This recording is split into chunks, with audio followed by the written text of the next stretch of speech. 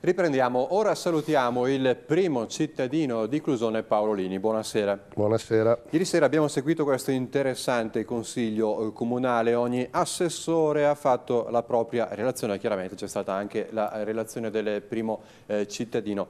Siete partiti dal bilancio, eh, per voi la gestione economica è stato un aspetto molto importante in questi anni, giusto? Allora, diciamo che il consiglio del 30 di settembre è sempre un consiglio interessante. La legge ci obbliga, obbliga i comuni a fare entro il 30 settembre la salvaguardia degli equilibri di bilancio e la verifica degli stati attuativi di programma. In questo ogni assessore porta la propria relazione e tra le varie relazioni credo che quella che più rende felice me, dia più merito a tutto il gruppo e soprattutto sia una, qualcosa di particolare e interessante anche per i cittadini all'aspetto economico e di bilancio. Lo stavi accennando tu, l'abbiamo accennato ieri sera, anzi l'abbiamo detto ieri sera, dopo aver trovato una situazione critica e che ci siamo sempre detti dal primo giorno, l'avevamo portata anche nel programma elettorale, una situazione di bilancio per chi come me e altri consiglieri aveva vissuto dieci anni da Presidente amministrazione, non facciamo polemiche ma 20 milioni e 400 mila euro di debiti erano un po' tanti. È vero, abbiamo dovuto fare sacrifici, abbiamo dovuto rincorrere quella che per noi è una situazione importante. Un amministratore ha l'obbligo, ce lo siamo sempre detti, di avere i conti che tornano. Qualcuno racconta ancora che c'era un pareggio certificato, noi ci siamo trovati a oggi a poter dire ai cittadini di Clusone che da 2.400 euro di debito pro capite, quindi ognuno di noi dalla nostra città ha un debito del genere, oggi siamo arrivati a 1.400 euro. Quindi questo credo che sia la novità importante per la città di Clusone, di poter andare per chi vorrà andare alla prossima scadenza amministrativa con una situazione economica di bilancio sicuramente più sotto controllo. Di certo non polemizziamo sulle scelte fatte, non andiamo a pensare che questa crisi ci ha influenzato, ma ci ha influenzato tanto, credo che si possa condividere che questi cinque anni siano stati cinque anni di crisi in cui le famiglie, le imprese, le aziende, gli artigiani, tutti quanti hanno dovuto affrontare un qualcosa di particolare. Non voglio certo dimenticare, l'abbiamo detto ieri sera, che i trasferimenti dallo Stato sono calati in una maniera paurosa e che servivano eh, tanto tanto per i comuni. Ecco, al termine del Consiglio Comunale ha fatto una comunicazione importante relativa al eh, progetto della nuova scuola dell'infanzia eh, di eh, Clusone. Sono quindi in arrivo risorse per la fondazione di circa 100.000 euro e poi lei ha mostrato le prime eh, fideiussioni che sono in arrivo per l'operazione, giusto? Beh, credo che dopo tanti anni qualche cittadino inizi un po' a, a confondersi, a dire come mai, perché, per come. Io per primo eh, penso che potrei essere il sindaco più felice del mondo a vedere l'inizio dei lavori. L'inizio dei lavori, l'abbiamo detto più volte, è stato influenzato da una serie di situazioni, da una serie di passaggi. Diciamo che ne, abbiamo viste, ne ho viste di tutti i colori in questi quattro anni e mezzo di mandato per quello che riguarda la scuola dell'infanzia. Qualcuno mi, mi, rimprovererà per questa affermazione, ma credo di poter dire che oggi a Clusone una scuola dell'infanzia c'è. I bambini svolgono in un locale idoneo le loro giornate, ma l'obiettivo di questa amministrazione era quello comunque di riuscire a dare anche la nuova scuola dell'infanzia. Eh, abbiamo fatto una serie di passaggi anche quest'anno, la novità che possiamo dire di ieri sera la fondazione che sarà eh, la stazione appaltante, definiamola così, per andare a realizzare la nuova scuola dell'infanzia, potrà beneficiare del primo versamento che ieri è stato fatto di un importo di 100.000 euro che dovrebbero essere i soldi necessari per i lavori da svolgere da qui a fine anno. Non potevamo certo introitare i 775 mila euro che erano in scadenza alla data del 30 di settembre perché in maniera responsabile, in modo responsabile, amministrativo, come dicevo prima, voleva dire andare a penalizzare il patto di stabilità poi dall'anno prossimo. Quindi la scadenza è un importo liquido che ha da oggi la Fondazione dietro rendicontazione potrà usufruirne e poi le fideiussioni eh, che sono state messe a garanzia per la realizzazione dell'opera. Anche qui è stata una trattativa lunga, è stata una trattativa influenzata da tantissimi fattori. Non per ultimo ricordo che anche il comparto canossiano è stato venduto dalla nostra parrocchia a un'altra società e quindi ci sono state diverse situazioni. Sono cambiate le volumetrie dei piani integrati, è cambiato l'importo, ma iniziamo a intravedere un po' di speranza. Poi devo dire che quattro anni di entusiasmo su questo tema oggi vengono gestiti da me in maniera un po' più pacata, però mi sa che potremo vedere a breve qualcosa di interessante anche sulla scuola dell'infanzia. E quindi gli importi sono stati rateizzati, adesso è arrivata una prima fideiussione, una attesa per la fine della settimana okay. e poi per il 15 gennaio 2015 un'altra allora, rata e a seguire le altre. Diciamo che questi importi comunque derivano, se lo possiamo rendere in maniera meno burocratese e meno consigliare, ma più popolare. Questi importi derivano dal fatto che il comparto canossiano, il comparto Pineta e la, la zona della Villa Gaia venivano ristrutturati dovevano versare degli oneri, questi oneri erano di 4 milioni e 100 mila euro, a oggi riducendo queste volumetrie l'impegno da parte degli attuatori è di versare 3 milioni e 100, come, quando e perché riversano. Perché? Perché l'amministrazione ha deciso che questo importo deve andare sulla scuola dell'infanzia.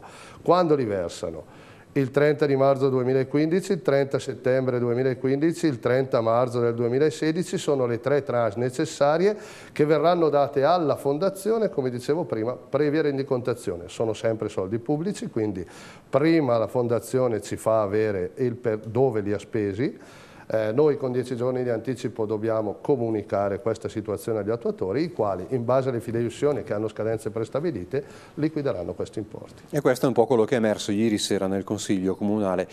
Tornando indietro alla puntata eh, precedente, un altro argomento importante è quello che riguarda la struttura polifunzionale. Voi avete indicato l'area dove eh, volete che questa venga costruita e parliamo eh, di quel terreno a sud del cosiddetto Monte eh, Polenta, il nome eh, reale sarebbe un altro. E, ehm, si è aperto un po' il dibattito eh, su questa vostra volontà. E una delle ultime cose che abbiamo sentito dire anche dalla eh, minoranza è che per fare questa operazione dovrebbe essere prima necessario un passaggio in Consiglio Comunale per modificare il piano di governo del territorio. Cosa ci dice in merito?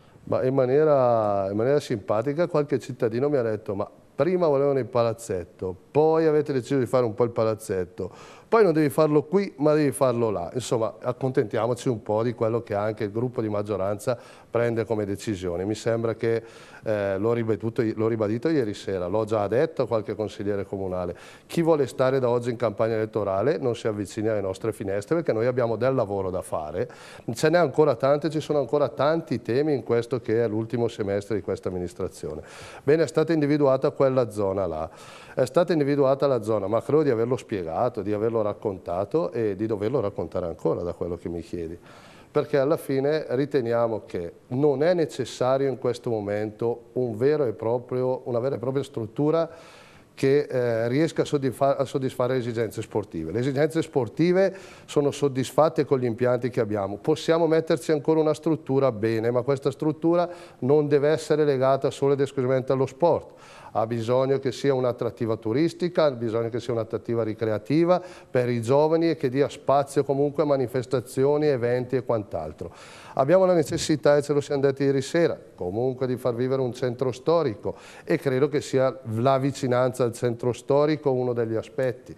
Ritengo che continuare a pagare da una quindicina d'anni eh, il parco pubblico di Clusone perché oggi paghiamo per avere il parco pubblico che abbiamo, non introitiamo ma dobbiamo anche spendere dei soldi, una città come la nostra si possa veramente dotare di un parco. E credo che quell'area verde lì se gestita, arredata, messa a disposizione della popolazione possa essere un polmone verde importante. È vero, mi accorgo anch'io quando risalgo la strada che quest'area verde è importante, ma la struttura che stiamo vedendo oggi sui progetti non è di certo invasiva, quindi stiamo vedendo una struttura che riusciamo comunque a mettere, perché qualcuno mi parla della zona del cimitero, è vero, lì la zona del cimitero, Diciamo che è di fronte alla caserma dei carabinieri, così iniziamo a capire che è da questa parte. È dotata di parcheggi, è facilmente raggiungibile viabilisticamente e quindi il fatto di poter pensare che ci possiamo permettere ancora di andare a realizzare un'opera del genere in un momento in cui, l'ho detto prima, o ci livelliamo a pensare che le crisi sono tante, la crisi è tanta, che ci sono delle necessità e delle quotidianità e non facciamo polemica anche sul luogo dove fare questa, questa situazione perché altrimenti eh, dovremmo riuscire a ottenere queste risorse che liquidi non ce le daranno mai perché derivano da uno standard, credo di averlo ripetuto più di una volta, non, la, non, abbiamo la possibilità di ottenere questi soldi, altrimenti sarei il primo a metterli a disposizione in un fondo per i giovani, per le imprese, per le tante famiglie che oggi vengono da me, dal mio vice sindaco assessore Luzzana, a chiedere aiuto per gestire veramente pane eh, quotidiano. Quindi abbiamo un ritorno nella realizzazione di un'opera. Qualcuno segnalava i pratimini, qualcuno segnalava vicino ai campi di calcio, Bene, se fosse solo una questione sportiva può andare, deve andare oltre a essere una struttura strettamente solamente sportiva, deve offrire qualcosa di più alla città di Crusone. E, e rispetto invece alla questione aperta sul piano di governo del territorio è necessaria è un'opera pubblica, è un'opera pubblica, sì, ci sarà comunque da valutare anche questa situazione, però l'opera pubblica in molti casi supera eh, tante normative, la scelta di fare lì è comunque un qualcosa di interesse pubblico, quindi che vogliamo fare ancora dei passaggi in commissione, che vogliamo chiedere con certezza che lì sia l'area ideale, però devo dire che quando si decide di fare un'opera, che non è un'opera che interessa a me o interessa a te, ma è un'opera che interessa alla collettività, alcuni passaggi possono essere superati. Ecco, da questo argomento ci leghiamo all'ex eh, Mirage. In vista ci sono i lavori che dovrebbero prevedere l'abbattimento della struttura, ci può aggiornare un po' la situazione? Aggiorno volentieri la situazione perché oramai eh, non ricordo più gli anni cui, da, da, da, cui quell'area lì oramai è ferma e tutti quanti pensavamo di sistemarla. Eh, si è riusciti anche lì a lavorare in sinergia con gli imprenditori.